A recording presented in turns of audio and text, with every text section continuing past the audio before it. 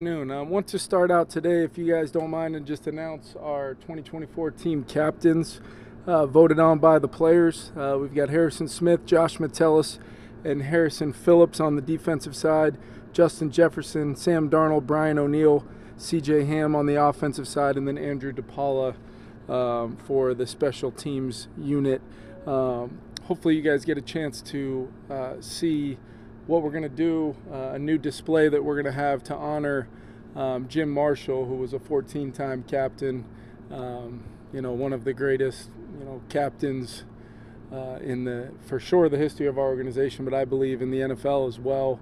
Um, you know, uh, a great way to honor him and uh, just continue to highlight the, the great history of our, of our organization and make sure our players not only understand that, on a daily basis around here, but uh, but uh, I know our fan base certainly does already. But it's a great way to do that. So we will have the Jim Marshall uh, Vikings captain legacy wall down uh, right where the players enter the building.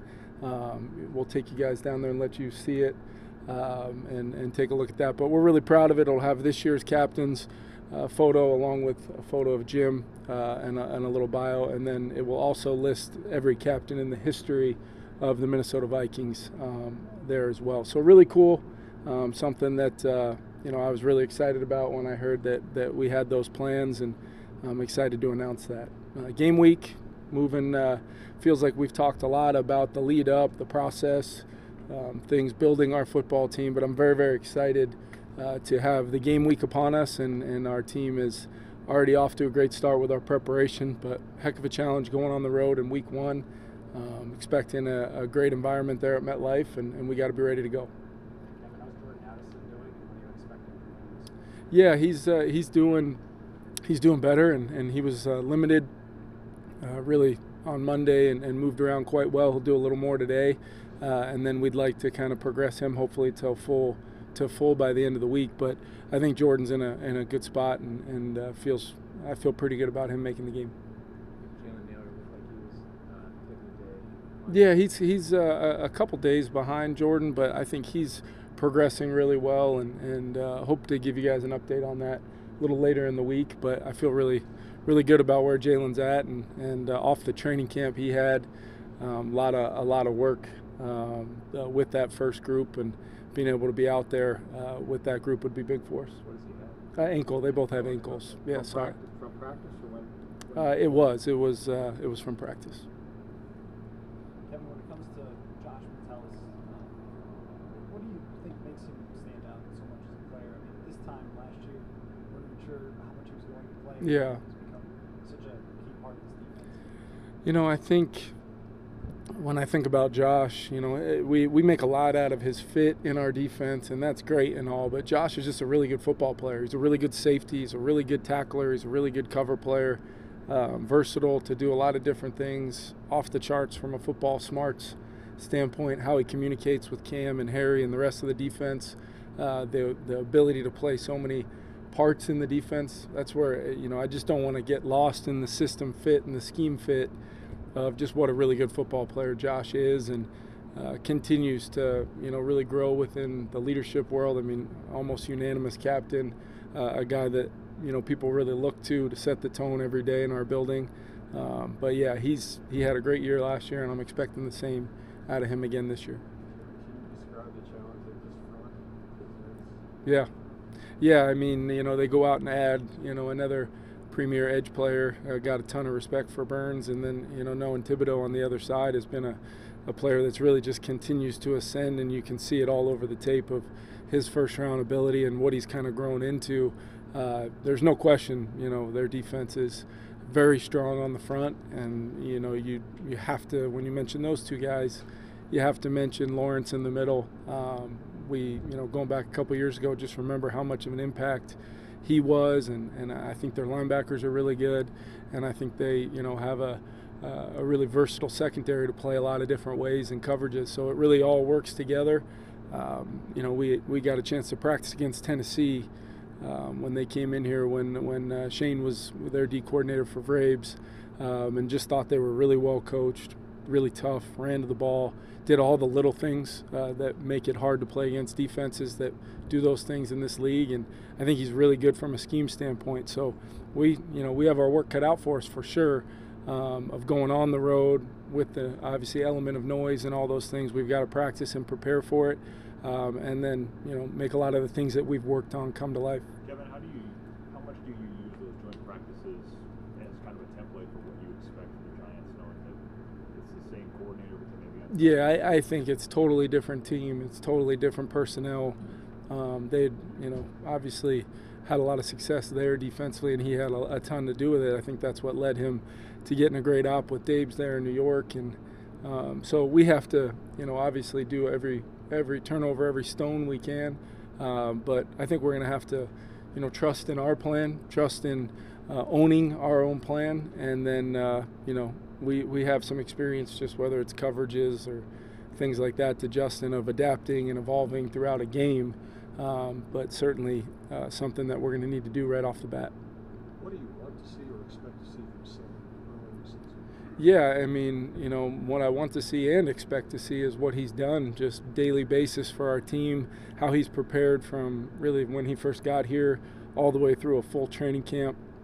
Uh, I think he's really confident. I think his teammates are really confident in him, not only just the physical side of things from throwing the ball and um, you know his ability to be accurate, his ability to push the ball downfield, make great decisions um, w- within the rhythm and timing of the play. But I think it's it's just that comfort of the work he's put in, and and and really, uh, I say this a lot, but the 2024 offense um, is this year's version of our offense. It, it might look different, it might look similar. Um, we've got we've got a lot of things we're really excited about, a lot of players we're really excited about, and Sam is certainly one of them. But I expect him to go out and uh, you know just execute the offense and play well. And with his skill set, I, I think uh, you know Sam's going to be in a good spot. Kevin, the games you played against the Giants in 2022 are those at all helpful in the game planning? I think I think so. Just because you know you at least know. Um, I have a ton of respect for for Dabes as a head coach in this league, and he's you know he's not just a you know offensive guy. He's had a great ownership of that whole team. Um, so I think his impact on how they've played previously against us, you know, could show up a little bit. Um, but at the same time, a lot of the players, when you talk about Dexter Lawrence, you talk about um, Thibodeaux, you talk about you know Adoree' Jackson, and some of these guys that uh, we've played we've played against in that uniform, in that you know, albeit a different scheme, but you know X's and O's aside, personnel still matters, and um, we've got to be prepared to play a bunch of really good players on Sunday. Yeah, we've talked about Justin's leadership, how serious he takes that. Yep. How much do you think that was reflected in the way he handled himself through the contract negotiations, just kind of keeping things private? Yeah, I, I just, you know, I, I can't stress enough the growth that I've seen from him, um, you know, on the field has been, you know, uh, an unbelievable start to his career. These these years that he's really stepped on the grass and immediately, uh, you know, showed up as one of the best players at his position. But he, I think he loves being a Minnesota Viking. I think, uh, I know I love our relationship that we have and, and my ability to, you know, have Justin be a major resource for me to reach the football team through that relationship uh, and just my, my trust level in him of uh, doing the things that he needs to do to lead our group. That receiver room is one thing, um, but just our offense and just the standard we want to have. Um, it's easy to rely on Justin to do that because he's got such an incredibly high standard for himself. And it's, you know, I'm, I'm really proud of the way, you know, he's handled a lot of things, you know, whether it was going back to the adversity he personally dealt with last year with the injury, how he came back from that. Um, you know, the business side of things is always going to be part of the National Football League, but uh, we try to build something around here that kind of transcends that. Hopefully, in every situation, it's not always possible, but um, you know how he handled that. I think his teammates were watching everything with Justin. They always are, and uh, he knows that. They said, I'm not playing until I get a new contract. He didn't say that. He certainly goes against what seems like the typical wide receiver role. Yeah, I you know I, I can't really speak. I, I being honest, I don't really know much about that situation. Um, maybe if we hadn't got that deal done with Justin and, and be as excited as I was about it, maybe I would be you know monitoring some of those things a little closer. Uh, but yeah, I can just say um, he had you know every every option of how um, you know people can handle those situations. And there's times during the type of dialogue that I have with players that conversations get real, and uh, I wouldn't want it to be any other way. But I think, and I hope at, at the end of all this, Justin um, has known since day one that I got his back, and I'm always going to try to help him be the best version of himself, uh, grow as a leader, grow as a you know a, a major major part of this organization. And I think that's something as, long as you consistently do that with your players from Justin Jefferson to every guy on our practice squad. My hope is they'll respond to the way we do things, and um, good things are going to happen, and people are going to treat each other right, respectfully, and the right the right kind of decisions and process will lead to really good outcomes. Which that was uh, a great outcome for the Minnesota Vikings. Kevin, how much familiarity is there with Deonte Banks going back to the 23 draft? Yeah, you know, I remember studying him coming out and, and meeting with him. Can't remember if it was at the combine or um, here on a 30 visit. You know, we really talented player, uh, super competitive. That's the one thing that always jumped out to me uh, is just how competitive and how much he wanted, you know, that matchup or wanted um, to be able to, you know, go compete right at the line of scrimmage against people and. Uh, physically, you know, he, he runs really well. He's strong. He's a good tackler. He's, you know, I, I think he's uh, really an ascending player uh, in our league, and, and he showed that last year for sure.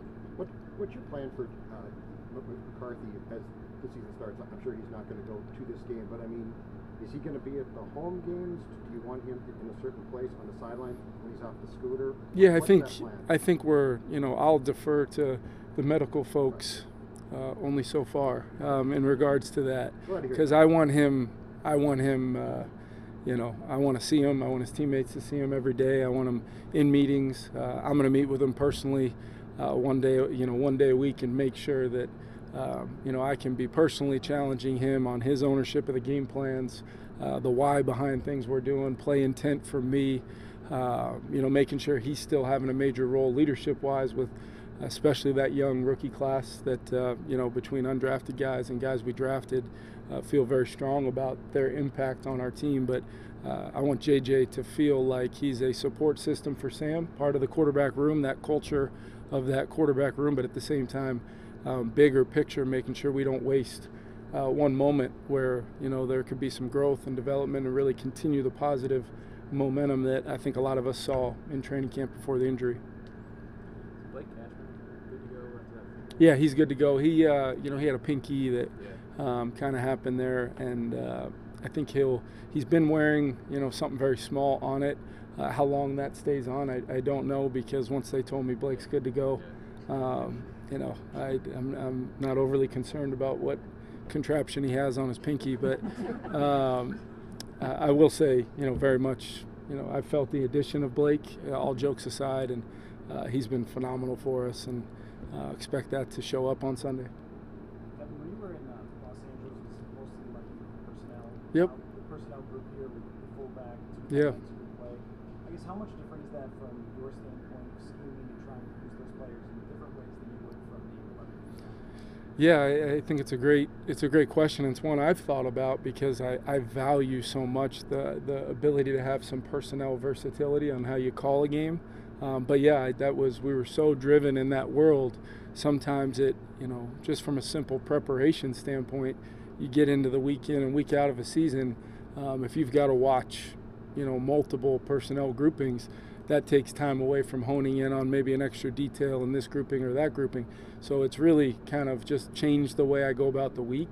Um, changed the way as we've kind of evolved and tried to do some things with our run game, um, learning you know different ways of not only doing that, but then how does that affect the pass game and the ability to marry it all up. So I think we're growing and, and have grown um, over over the period of time that I've been here, and we've tried to be more versatile from a personnel standpoint. But it is something, especially as a play caller, uh, you know, you adjust to and try to figure out. You're only going to get so many ops. You only get so many plays. You only you, you can have every play in the world you want on the call sheet, but in the end, you're going to get this many normal down, first and second down calls. You're going to get this many third downs. You're going to get this many red zone chances, and, and then your two minute. But uh, those in total, you know, normally average about 60 to 70 plays uh, any given week, and you know, you, you got to make sure your focus is not being uh, slighted in any one area. You know, as especially as the play caller. Last one. Just to follow up, does that uh, for opponents? It seems like the league is mostly an 11 hmm Do you think it causes defenses sort of more preparation that's different and they know that you can use different personnel than they're usually seeing? Yeah, I think you just want to make sure if I'm doing it, they got to do it, type of thing, and then they got to evaluate how we do things compared to maybe other teams that are they're more or less 21 or 12 or 13 or whatever it is, and and then you know if sometimes it's hard for us if they haven't seen. That's where you really see it. If you, you know they haven't seen uh, a team that wants to play like that. Uh, you know, you're you're searching for some your clips and you're really trying to evaluate how things will carry over. And then there's no rule that says they got to play exactly the way uh, they they did on in any one particular game or snap. So you got to be ready to evolve. You got to have a system where you can identify things. You got to have a system where uh, all 11 guys, regardless of what the defense does, can have a clear-cut plan of how they want to play out each play, and then you know where it goes from there is kind of an in-game fun side of it for me.